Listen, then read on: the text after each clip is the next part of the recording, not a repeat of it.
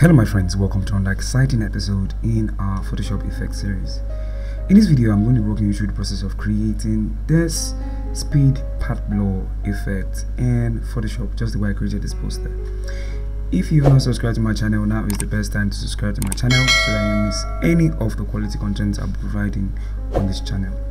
Without having to say much, let's get started. Okay, so um, this image is actually part of the graphic bundle that I shared on the page recently. So inside the premium image, that's where I'm going to be getting. So if you have not gotten yours, you know what to do at this time, right? So you can see that it has so many image at your disposal that you can use for your project. And these are not just ordinary images, right? It's not your normal images, they are high quality images so for most of you always asking where do i get my source file so this is the entire um, um, bundle that i have at my disposal that i use to create my designs. So i've given you everything for that price right? So it's like it's more like a giveaway price.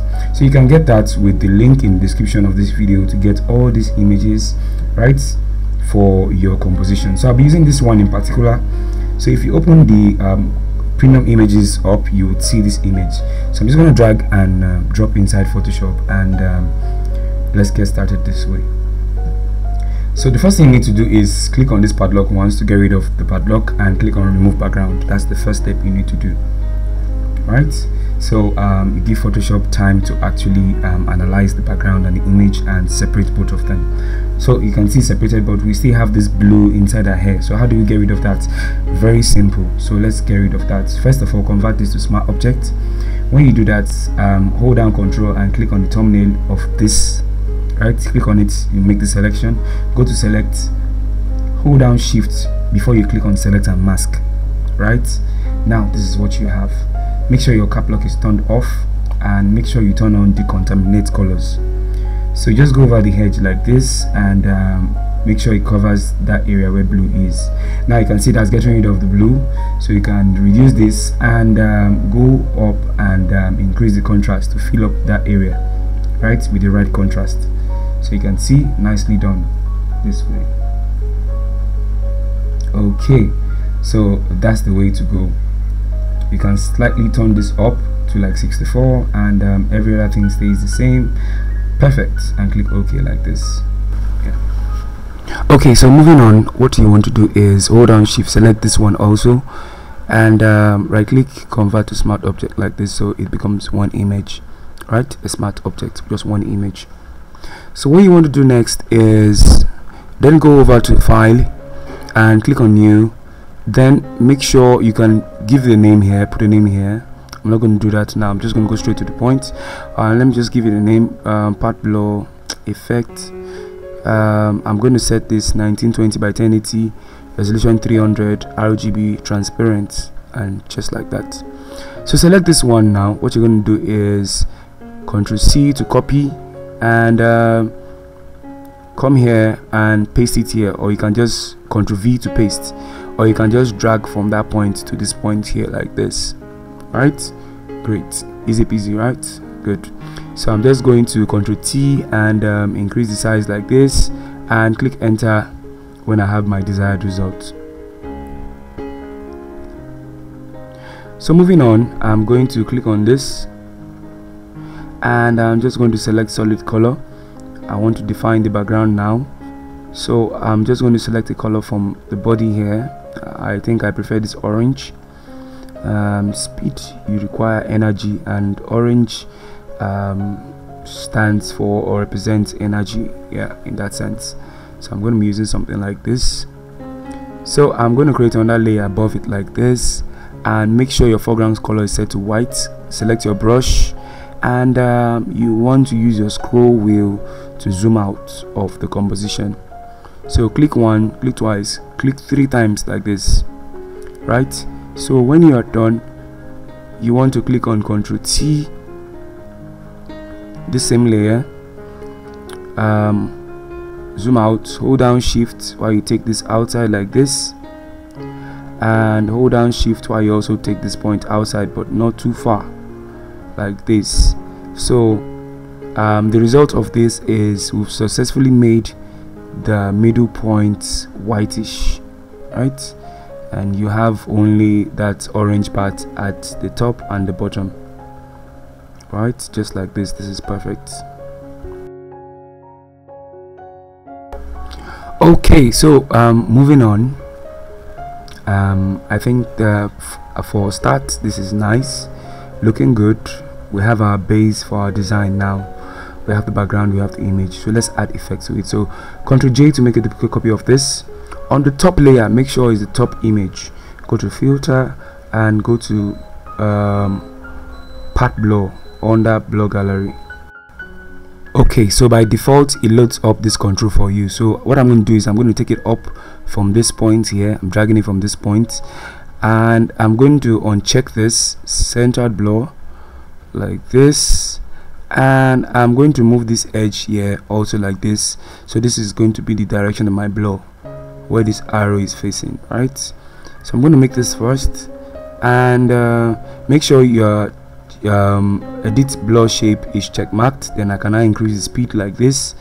Then to this is make sure this is checked marked edit blur shapes. So depends on how you want your blur to be. Most persons they can just leave it this way and um, go on with their lives and um, everything is nice. But you can also change the dynamic of your uh, speed like this to give it a curve like effect kind of like or you can leave it on a straight path. Depending on what you want i'm just giving you this option because even the one i did for the thumbnail it was a straight one i used. But i'm just showing you that you can actually be flexible with this also right? Okay so when you're done just head on and just click ok like this. Okay so make a duplicate copy of this layer. Go to filter and go to camera um not camera raw blur gallery and path blur again. So i'm doing this on, another layer again right? So i'm just going to repeat the same process i did in the first one. I'm going to let this come out and i'm going to uncheck this first and i'm going to change the direction. Okay i'm going to move this upward. Move the direction but I want it to be around this leg area like this so I'm just going to yeah, leave it here.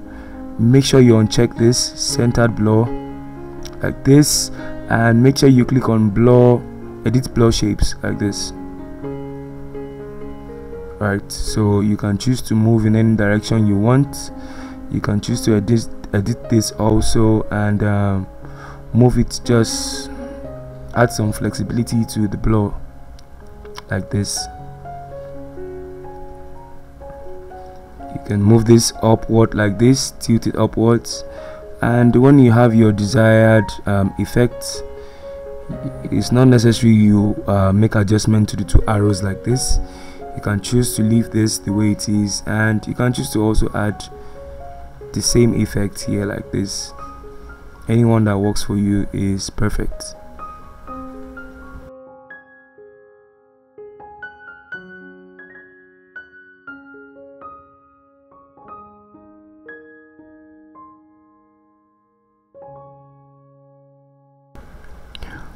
okay so um, i'm just going to leave this this way. When you are done with adjustment just click ok like this. And um, good. This is what we are left with like this. Okay so um, what you want to do next is um, select these three like this. And uh, move it slightly to the right like this. And what you want to do the ones that have the blur effect select it. Select this one and um, make a duplicate copy of this one ctrl j like this. So what you want to do next is with this one selected select this one. Hold down shift select the three of them basically and group them. So what you just selected is the ones that have the blur gallery effects so go to gradient map like this and um, change the blend mode to um, no not screen. Um, create clipping mask is only affecting the image. Change the blend mode. We're going to change blend mode but before then make sure you are selecting this for the gradient map. Under gradients under properties under gradient map select this orange right? So what you want to do is change this um, you can use any of the two of them this or this. So change this to linear dodge add like this yes this is what I used. Right? So I can then reduce the opacity here like this. So it's not too obvious or too sharp. Right? So um, I'm going to make a duplicate copy of this. I'm going to filter. I'm going to blur motion blur like this. And I'm going to change the, the angle here can see that my angle has changed and I'm going to increase the distance to apply that same effect to the image itself. And I'm just going to create a mask. I'm going to mask out these parts. I don't want the effect to be on the face. So I'm just going to use my brush to mask out this, this part out like this. So this is before and this is after right you can see the effect. Yeah. So I'm just going to increase add more blur to it like this and click OK like this.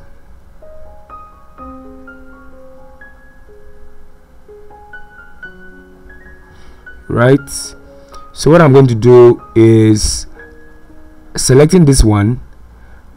I'm just going to come here and uh, select my text tool and I'm just going to type speed. So I'm just going to be typing speed um, control T to make it bigger like this. Make it bigger yeah. So you can also get this uh, font in the font that I provided inside the graphic the smart graphic designer bundle that I shared. So you can also get the font there also. So I can just make this bigger like this.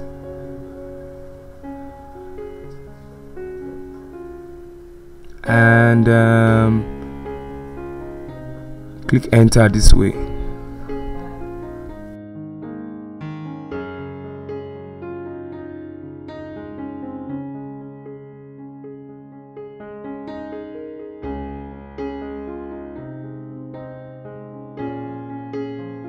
okay so now click on the speed. I'm going to change the color. I'm going to use the color i used for the image itself. You can be playful with it use any different color. I'm just going to use this for this for the purpose of this um, exercise here.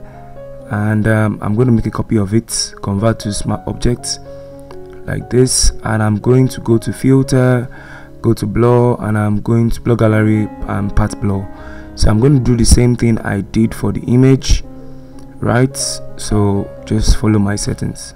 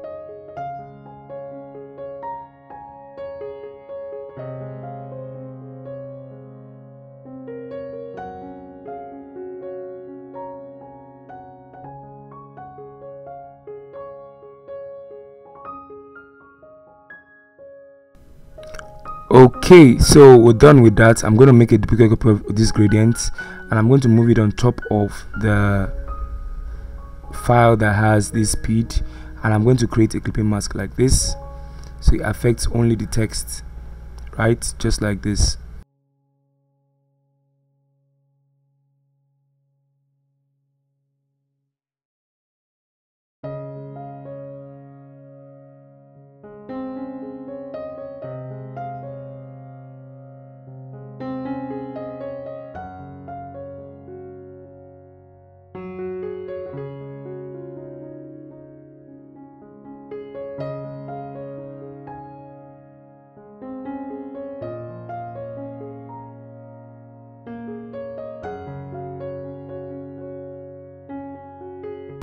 okay so now i'm going to go to adjustment layer. Selecting the curve and i'm just going to bring it down like this to add some more contrast to it and to balance off the aspects that needs um, dodge and burn.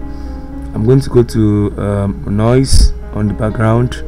I'm going to add some noise to it not too much use my settings. And um,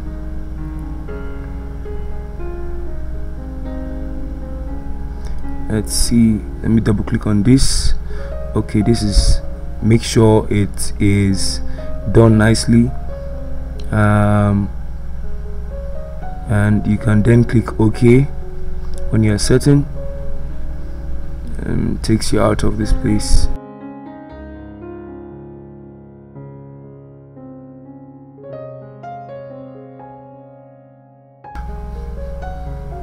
okay so i'm going to click on the original image which is this one this one here and i'm going to go over to filter camera filter and i'm going to make it pop just a little bit right? So this is what i'm going to do. I'm going to come here and i'm going to select um, texture and i'm going to increase the clarity like this. Increase the texture to the end. You can leave it at 100 it's fine. It's good. So just to make it pop more right? So at this point we are actually good to go.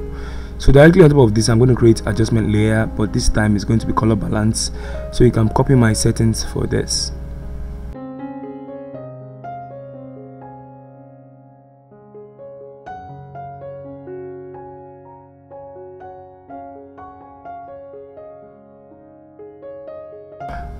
Okay so with my settings and if you followed me from the beginning you'll be able to arrive at this together also. If you've liked this video don't forget to give it a thumbs up and uh, don't forget to share like and drop your comments in the comment section. With over 1000 premium fonts over 100 high quality psd flyer templates over 700 icons, over 3,000 premium stock photos, 3,000 plus high-resolution backgrounds, 1,000 plus 3D and PNG assets, editable PSD templates, and lots more. If you're a creative designer, UI UX, or web designer, the Smart Designer's graphics assets will make your life much more easier.